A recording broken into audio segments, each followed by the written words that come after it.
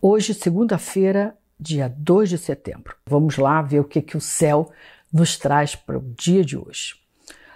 Lua nova, a 11 graus do signo de Virgem.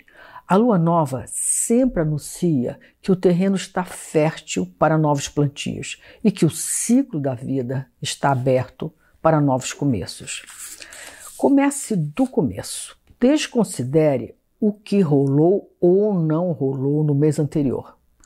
Trate do assunto como se fosse pela primeira vez, com o frescor e a esperança que temos no início das coisas. Selecione criteriosamente, um a um, seus melhores grãos, os grãos mais nobres, as sementes mais nobres, os planos, ideias e sentimentos mais nobres. Selecionados, palavra de virgem. Dê preferência aos que tenham mais chance de vingar. Comece pequeno e vá acrescentando aos poucos, seguindo a natureza virginiana dessa lua nova. Essa lua nova não é uma qualquer, não é uma lua nova comum, porque ela cedia o eclipse lunar do dia 17 de setembro e encerra o seu circuito com o eclipse solar na próxima lua nova do dia 2 de outubro. No mapa dessa lunação, temos o desenho formado entre Urano e Mercúrio, numa posição tensa, né? numa combinação, numa aliança tensa e em posição de muito destaque no mapa dessa lunação, como vocês vão poder ver aí no desenho do mapa dessa lunação. Prepare-se para um mês de muita agitação, mudanças que nos pegam de surpresa e muitas demandas acontecendo ao mesmo tempo, na linha da aceleração.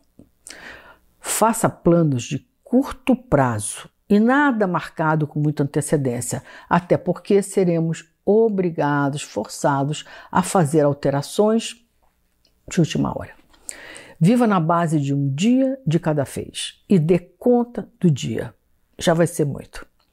Mudanças de casa, renovação na casa e alterações domésticas estão no radar dessa alunação.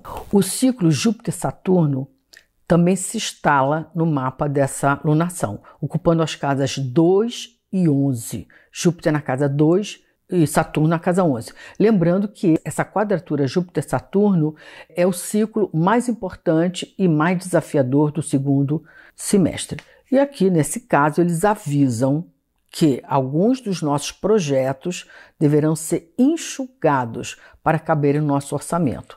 Acaba que saíram mais caros do que conseguimos arcar, portanto, corte neles. Alertam também que está mais difícil fazer dinheiro, com margens de ganhos menores.